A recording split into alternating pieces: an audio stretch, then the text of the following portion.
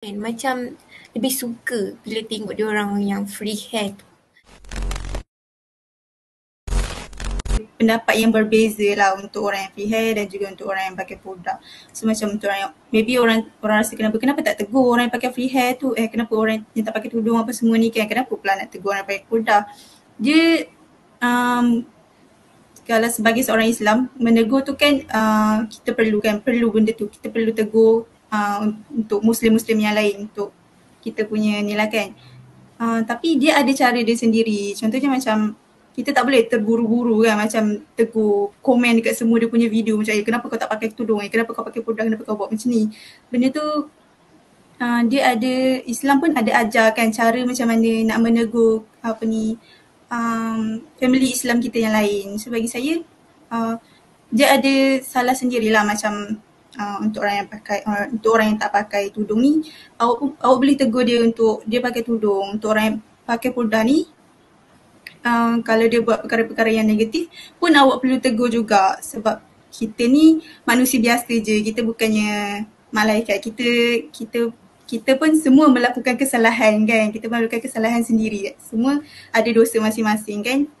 So um, untuk menegur tu kita memang perlu tegur. Tetapi ada cara dan um, lain lah cara dia kita nak me- untuk menyapa orang tu kan. Uh, nak tegur ni tegur benda lain. Macam orang ni pula kita tegur pasal benda lain.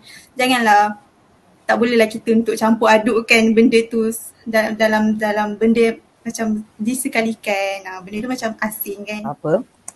Kita dakwah perkara yang berbeza lah daripada apa kita pandangkan eh.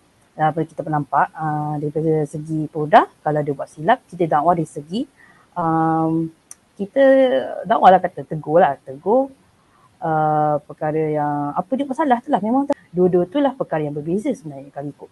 Uh, uh, perkara yang salah berbeza lah sebab dah pakai tudung tapi dah salah uh, kita tegur lah situ kalau free hair kita tegur di persegi ah tutup aurat macam tu. Uh, jadi uh, nak katakan kita nak katakan kita lebihkan pada produk sebenarnya dua-dua pun kena lebihkan uh, jadi kita tak boleh tinggalkan satu-satu. Ha, kalau dah tegur satu, kita insyaAllah tegur baik-baik.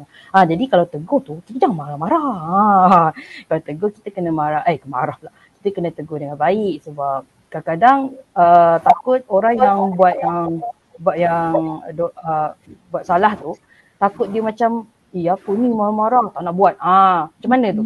Ha, macam mana nak buat tu? Ha. Jadi kita kena kalau sebagai uh, orang Islam kan kita kan dia uh, ajarkan dengan cakap-cakap lembut macam tu kan. Jadi uh, kalau boleh kita tegur. Tegur dengan baik. Ah uh, janganlah tegur memalukan dia pula. Ah uh, tak boleh tak boleh. Ah uh, marah-marah nanti adik kita kita marah pun dia lagi buat. Ah uh, macam mana tu? Jadi kenalah uh, dari segi tu kita kena tegur baik-baik. Ah uh, macam tu lah.